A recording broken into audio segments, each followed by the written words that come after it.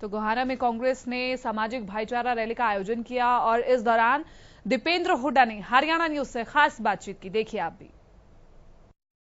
हमारे साथ रोहतक लोकसभा दीपेंद्र हुड्डा है। दीपेंद्र हुड्डा जी आज प्रचार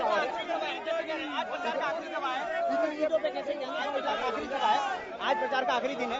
कैसे आसपास में पूरी सीटों? में लेके मुझे लगता है कि कांग्रेस अधिकतर सीटों पर हरियाणा में जीतने जा रही है बड़ी बहुमत आज जो भीड़ देखने को मिल रही है बिल्कुल ऐतिहासिक भीड़ देखने को आज इतिहास बना आज इतिहास बना है आज तक कभी इतना बड़ा जनसमूह मैं सुबह रैली से मौजूद था। मैंने देखा लोग एक नेता का इंतज़ार करते हैं लेकिन आज जो नेता का इंतज़ार हो रहा था वो चिलचिलाती धूप में हो रहा था। ऐसे देख कैसे देखते ऐसे इस मौसम में इतनी बड़ी हाजिरी की आज तक ऐसा नहीं लोगों का बहुत बहुत हम धन्यवाद करते हैं। अच्छा कैंडिडेट की लड़ाई आपसे नहीं है। आपकी लड़ाई मोदी से मानी जा रही है।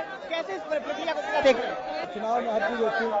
कैंडिडेट भी होते हैं प्रधानमंत्री भी और राष्ट्रीय नेतृत्व भी होता है प्रमुख दोनों दलों का।